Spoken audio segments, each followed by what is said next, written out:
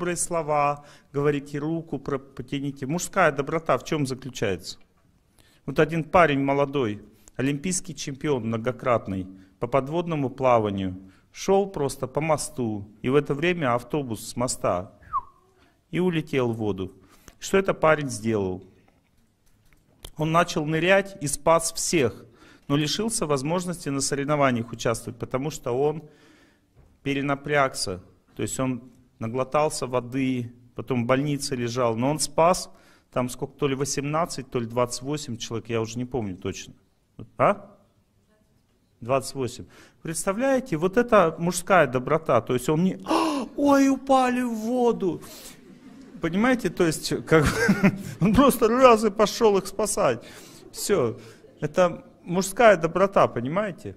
Женщина, может быть, и не побежала бы, она начала кричать, помогите там. Вот. А мужчина, он просто пару раз и помогать сразу. То есть по-разному доброта женская, мужская действует. Но часто вот мне перед лекцией женщина должна вопрос, Олег Геннадьевич, как мне быть эмоциональнее? Человек не может быть эмоциональнее, потому что у каждого человека эмоции построены определенным образом. Изменить это невозможно. Допустим, женщины говорят, я не такая женственная. Все женщины женственные. Просто есть занятая женщина, а есть незанятая женскими делами. И вот та женщина, которая не занята женскими делами, она не женственная. Вот, допустим, мужчина говорит, я что-то слабый какой-то, не могу гирю поднять. Ты не слабый, ты просто не занимаешься в спортзале. Иди позанимайся и сможешь поднять. У тебя мужское тело, оно сразу станет сильным. Точно так же есть женщина, которая не занимается женскими делами. Есть мужчина, который не занимается мужскими делами. Мужчина говорит, я трусливый. Ты не трусливый, просто тебе надо пойти и потренироваться в спарринге, постоять. Просто потренироваться.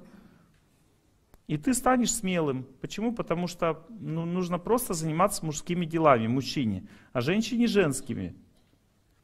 Говорят, как же мне стать нежной? Просто заботьтесь, станешь нежной. Я хочу быть нежной. Не надо хотеть быть нежной. Нежность это, награда. Доброта это награда для женщин. Нежность это награда. Я хочу первое место. Не надо хотеть первое место. Надо хотеть тренироваться. И тогда ты получишь первое место. Я хочу на девятый этаж сразу прыгнуть. Не надо на девятый этаж прыгать, надо зайти в подъезд и встать на ступеньку первого этажа на первую ступеньку.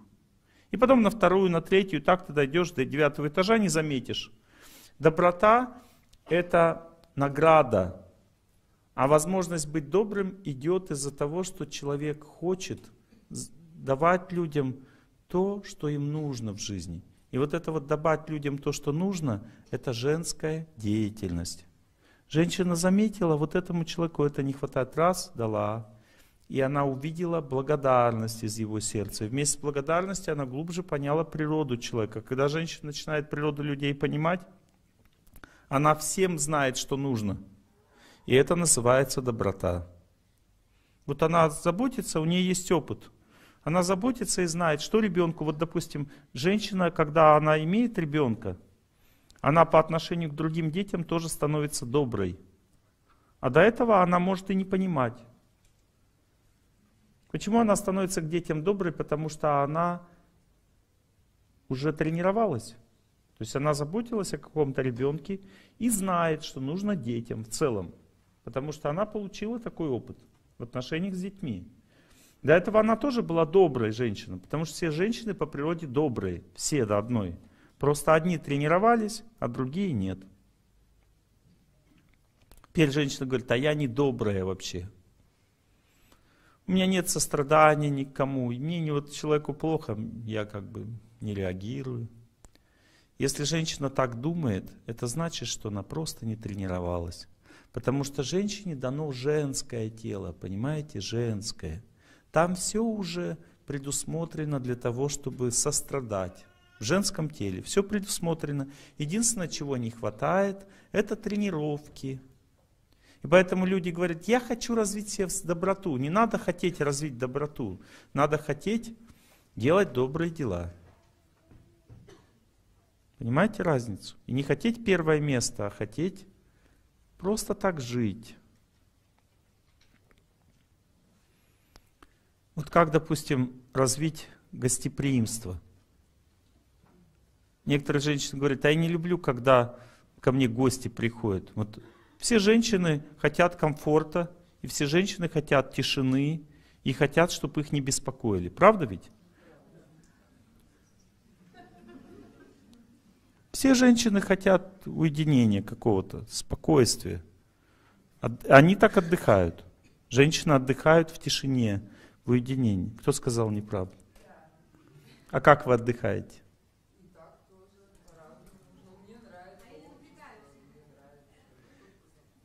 Это понятно, что всем женщинам нравится общество. Но два, два дня назад вас так напрягли, что вы ушли и никого не хотели видеть какое-то время. Это называется отдых. Вспомнили? Да. Вот это называется отдых для женщины. Когда женщину напрягают, она отдыхает в одиночестве. И некоторые женщины думают, вот теперь смотрите логика, что им не нравится, когда приходят гости. Потому что гости их напрягают. Некоторые женщины так думают. Но на самом деле это неправильное мышление.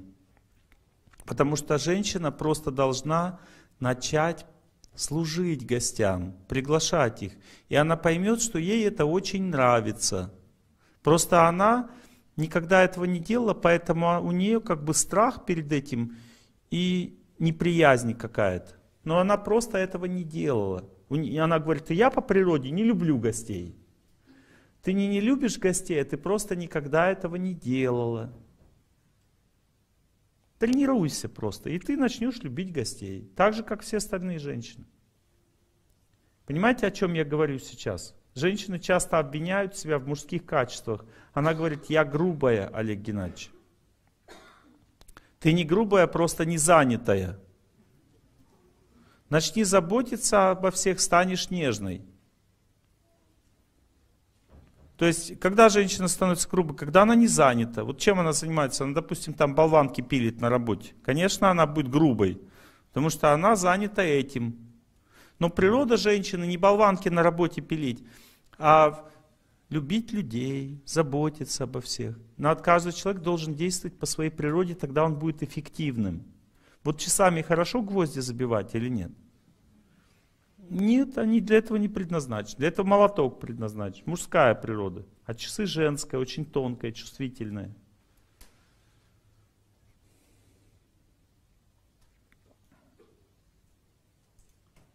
Зовем друзей.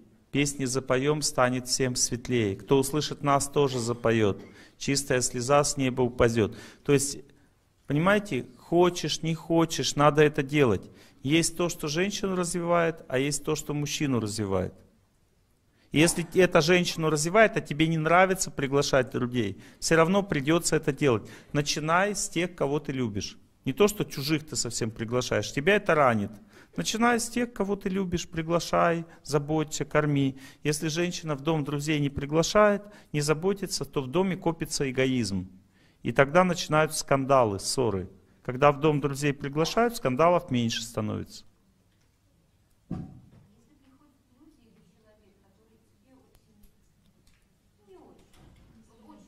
Тогда не надо его приглашать. Не надо, не надо. Приглашайте только близких людей. Женщина не должна приглашать чужих. Не надо чужих приглашать. Близких только приглашать. Он сам приходит, да? Это есть мужик, если человек сам приходит, надо мужу сказать. Он скажет, слушай, ты сам не приходи к нам. Мужику сказать это несложно. Нет проблем с этим. Женщина должна разделять обязанности. Допустим, ну, мальчик напроказничал, женщина мальчика не может сама наказать. Или если она наказывает, он еще звереет больше. Она должна сказать мужу, он его будет наказывать. Есть мужские обязанности, есть женские. Если она хочет наказать его просто тем, что она не разговаривает с ним, нормально, это женское наказание. Но если она хочет его по попе побить, то не надо, потому что мужчина от этого звереет. Когда женщина наказывает мужчину, он начинает звереть. То есть мужчина не примет никогда, что женщина его сильнее, даже мама. Даже маленький мальчик не примет никогда. Поэтому надо наказание отдавать мужу. Пускай он наказывает, это эффективнее.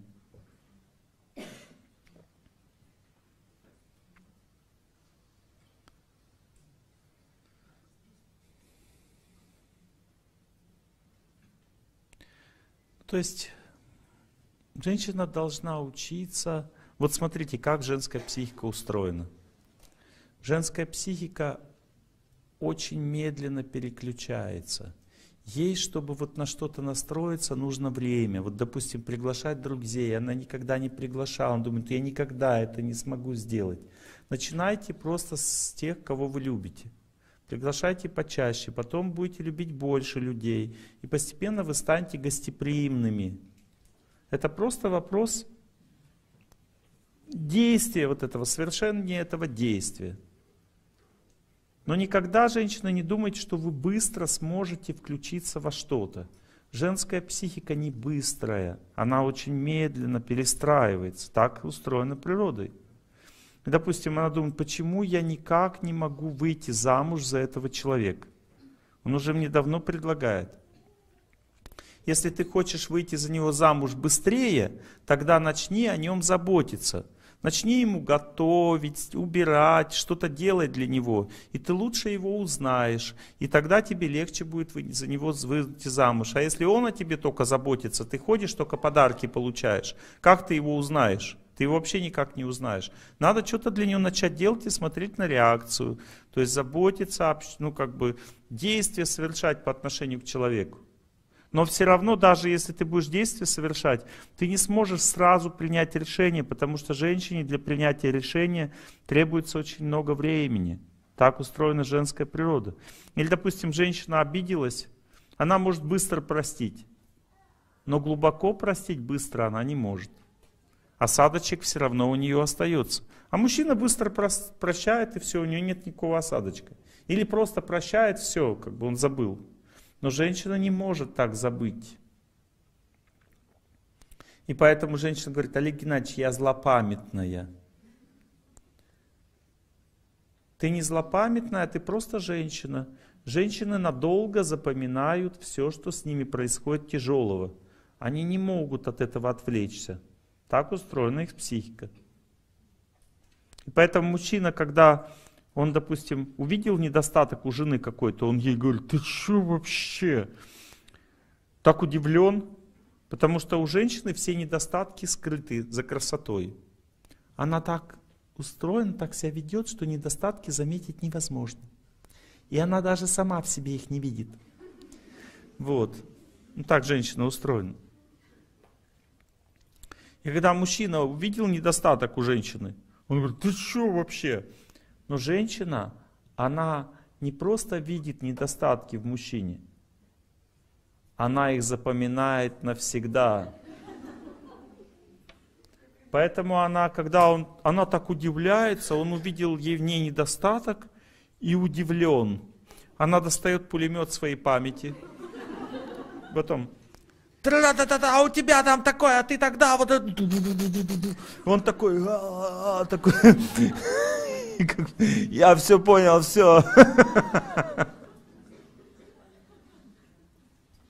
Поэтому женщины спорить как бесполезно. Она все мужа знает, а он о ней ничего не знает. Поэтому как спорить? Ничего не сделаешь, никак не поспоришь. То есть, как есть, так есть. Если женщина переживает, она думает, я такая ранимая. Если ты такая ранимая и постоянно обо всем переживаешь, тогда отвлекись от себя и просто начни думать о ранимости других людей. Начни им помогать, и ты перестанешь быть ранимой. Ты беспокоишься, что ты ранимая, потому что ты думаешь только о себе. Один это естественный женский недостаток переживать о своих недостатках. Когда женщина переживает о своих недостатках, это значит, что она не занята. Ей надо просто чем-то заняться, понимаете, начать кому-то помогать. Один ученик пришел к наставнику, говорит, я такой падший, я самый падший. Он наставнику своему говорит, я самый падший. Наставник говорит, ты не самый падший, ты просто падший. И все. Перестань думать о себе, иди займись чем-то полезным.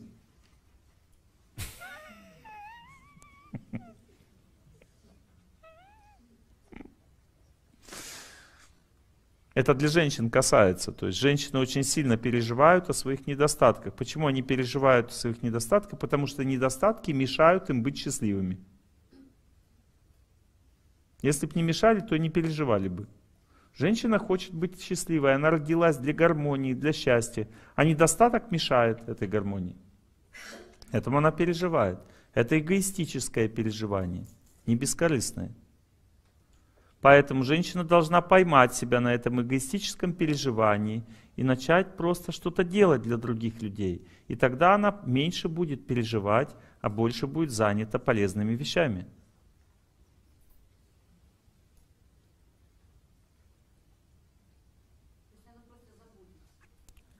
А всегда так.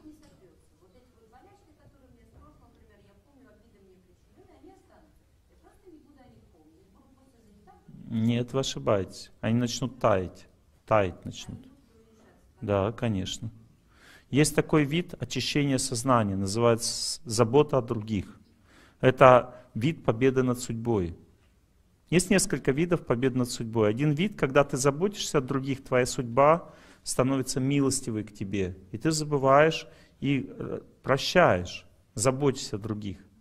Второй вид победы над судьбой – это аскеза. Вот забота – это женский вид. Дарить пожертвования, кормить людей, заботиться – это женский способ побеждать судьбу. Аскеза мужской, допустим, мужчина постится там, неподвижно молится там и так далее. Мужской способ. И мужчина просто выдерживает судьбу и побеждает ее. А женщина, она побеждает с помощью служения. Он заботится, а заботится всех раз, и легче стало. Потом вообще все прошло. Вот, допустим, женщина попала в беду, муж ушел, допустим, бросил ее, предательство. Невозможно вытерпеть, очень больно. Что, что женщина должна делать? Она должна пойти куда-то, где святые люди находятся, допустим, монастырь, начать там служить, в храме помогать. Вот она находится на высоте пики страдания, она должна бросить все, идти туда, где люди делают добрые дела. Пришла в храм, пол помыла, что-то сделала еще. И когда она начинает вот заботиться, заботиться, служить, у нее полностью пропадает всякое страдание в сердце. Так она побеждает судьбу. И она потом сильнее становится этой ситуации. И третий вид побеждать судьбу – это память о Боге. Это через молитву делается, через изучение священных писаний – Через слушание наставника человек помнит о Боге и, отвлекаясь от себя, побеждает свою судьбу.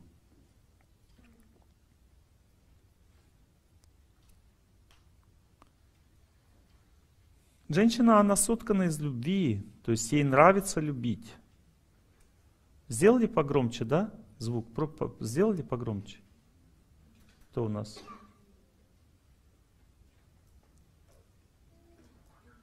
Видите, женщина соткана из отношений, из любви. Если выйдешь ты мне навстречу, даже грянет гром, не замечу. Ну, то есть она, то есть она живет в этих отношениях, в любви. То есть, и она, она видит все, как происходит в этом мире, она создана для жизни. Веды говорят, женщина это река жизни, а мужчина это берега. В семье кто живет? Женщина живет, поэтому мужчина и пытается сделать так, чтобы она была счастлива. Он дарит ей подарки, разумный мужчина, заботится о ней. Да? Ну, стало погромче же или нет? Нет, так же. Не подключен, да, я тоже так чувствую, да, что-то. Хорошо, ладно. Инженер ушел. мужскую тишину. Это такой состояние, когда мужчина забывается на работе. Надо звук сделать. Вот.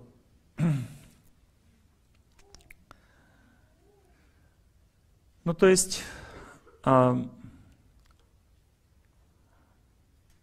женщина как река, Река, когда течет, она вовлекает за собой камни, все, она бурлит, она живет, живая. Вокруг реки все, деревья начинают расти, трава, она все питает своей водой. Женщина как река, она река жизни.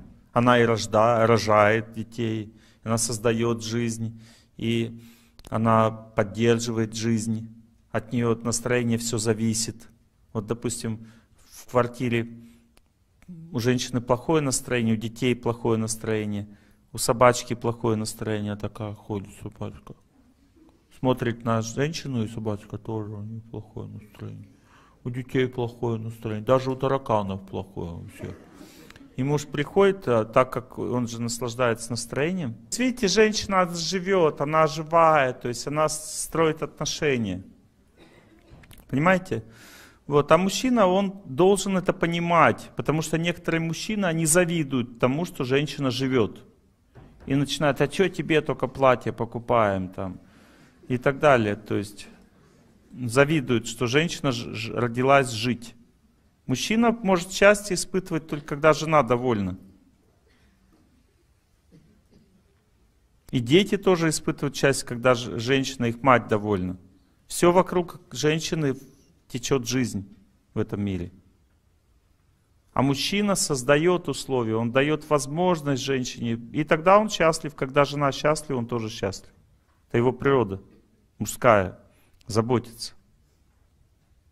Именно сделать счастливой жену. Он бескорыстный мужчина по природе. Женщина бескорыстная? Женщина может служить, легко служить. Мужчине легко служить? Нет. Она говорит, вымой пол, он, э, дай денег на. То есть мужчина бескорыстный по природе, но служить ему тебе тяжело. Что тебе подарить, человек мой дорогой? Я тебе подарю, может, этот рассвет. У меня для тебя невозможного нет. Ну, то есть мужчина может все подарить, а женщина нет.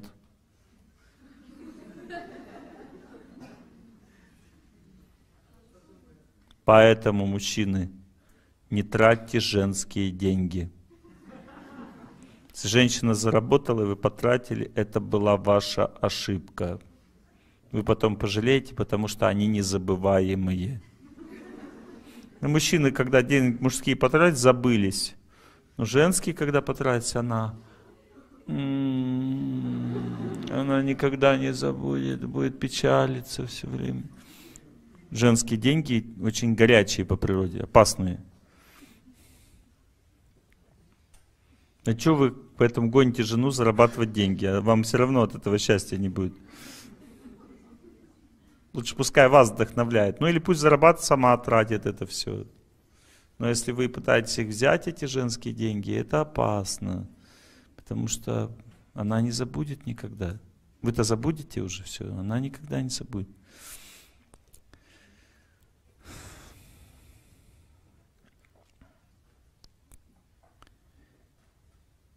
Так есть женская природа, есть мужская природа. Некоторые женщины говорят, что я очень грубая, вот, очень гневливая, не нежная, не ласковая, раздражительная. То есть женщины обвиняют себя в том, что у них проявлены мужские качества. И это означает, что типа, ну, мне невозможно быть женщиной. Это то же самое, что мужчина обвиняет себя. Я слабый, трусливый, ленивый. Ты не слабый, трусливый и ленивый, ты просто не занятый. Вот у меня сейчас сын моей сестры приехал ко мне, как бы он сидит у меня компьютер такой. Не то, что он ленивый, он просто не занят. Я взял его, вытащил, поставил кое-куда. И он начал работать, все. Перестал быть ленивым сразу. Нужно быть занятым просто человеку, по своей природе. И все, и он включается и становится развитым. Женщина не может быть грубой, она просто не занята в доброте. Она не может быть скупой, Она просто не занята в служении. Женщина не может быть злой. Она просто не занята в том, чтобы прощать людям, принимать их. Ну, то есть, вот когда человек, допустим, лечит людей, он не может быть злым на людей, потому что он им помогает.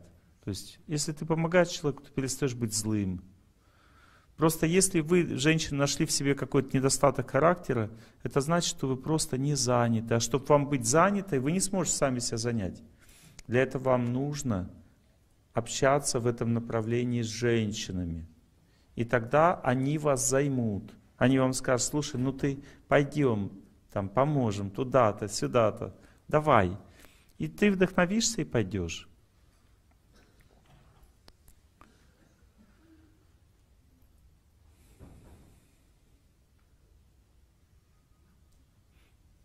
Женщина естественным образом чиста. У мужчины разум имеет силу, природную силу, а у женщины разум не сильный. Сильный разум означает воля, решительность, храбрость, целеустремленность. Это у мужчины естественно развито, в мужчине, в характере. Естественно, Бог дал это все. Женщине это Бог не дал. Женщине Бог дал чистоту, разума.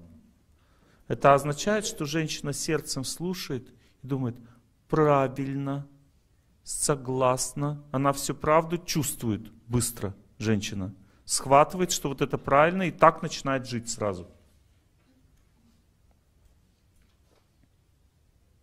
И поэтому женщина не должна печалиться, что у нее нет силы и решимости жить правильно. Она не должна об этом печалиться. Потому что это означает забивать часами гвозди. Почему я такая нерешительная? Я не могу себя заставить. Потому что у тебя совсем другой разум. Он вдохновляется чистотой. Разум женщины соткан из совести. Она очень совестливая женщина. Женщина это совесть семьи. Она не может грешить в семье, потому что совесть говорит, не делай этого. И она старается, чтобы все было правильно в жизни, по совести. В этом разум женщины заключается. Она сигналит опасность. Она говорит мужу, этого не надо нам делать, это неправильно. Сигналит ему. Говорит, неправильно. Муж должен прислушаться. Потому что жена это совесть семьи. Сердце мужа, совесть семьи. Женщина не должна пытаться быть волевой. Но может человек жить без воли или нет? Нет. Поэтому женщина должна знать, запишите себе, женщины, запомните, что ваша воля находится в отношениях с женщинами. Если у вас сильные связи в отношениях с женщинами и что-то вам нужно сделать, вы звоните всем женщинам своим, и они говорят, давай сделаем это вместе там. Они вдохновляют вас, и у вас появляется возможность сделать. И вы еще сильнее, чем мужчина можете делать. Допустим, если вы созванитесь, вы каждый день можете рано вставать, каждый день можете молиться. Но для этого нужно знать, как работает разум женщины. Вы каждый день можете о ком-то заботиться, постоянно. Но для этого вы должны вдохновляться этим в отношениях с женщинами. Если эти связи с женщинами не работают у вас, значит тогда вы беспомощны. Вот, допустим, у вас есть место, где вы живете, допустим, квартирный дом, если вы не знакомы с соседями, вы не можете быть доброй по отношению к ним. И это значит, что собачка соседская будет какать на вашу коврик. Почему? Потому что вы для нее будете чужая. Поймите, что это ваш долг заключается в том, чтобы позвонить соседям, накормить их пирожками, угостить их с праздником. Есть случаи разные, допустим, Новый год, поздравляю вас с Новым годом, счастья вам. И все открывают двери в это время, потому что они знают, что это нормально поздравлять Новый год, даже чужих людей. И в это, после этого они становятся своими. Надо взять и во всем подъезде всех поздравить с праздником с каким-то. И после этого все будут вас любить.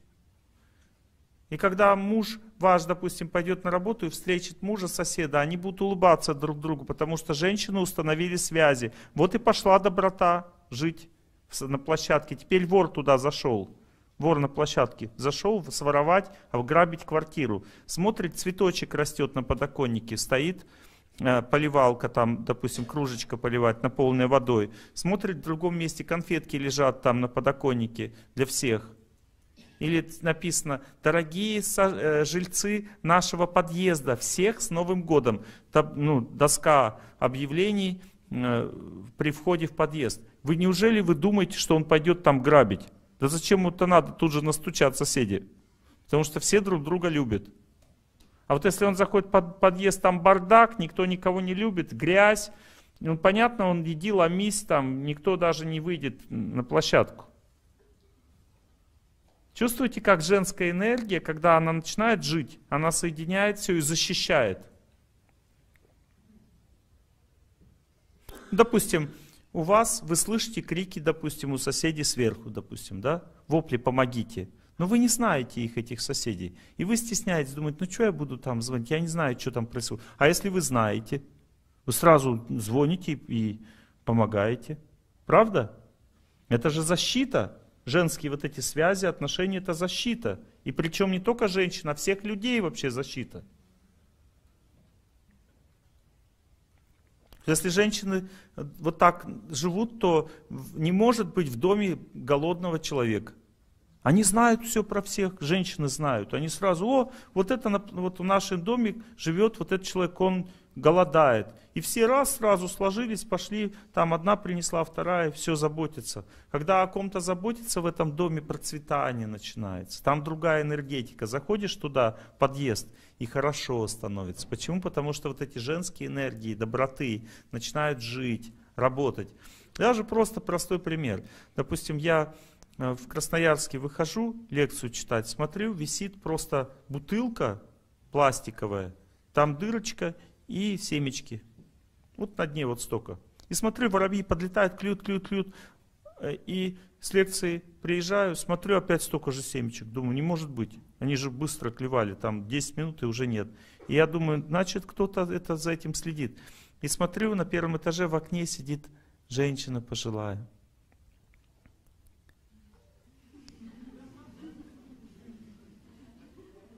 И излучает доброту. Ей неком больше заботиться, она одна осталась, но есть птички, которых она любит и заботится о них. В результате все вокруг наполняются добротой.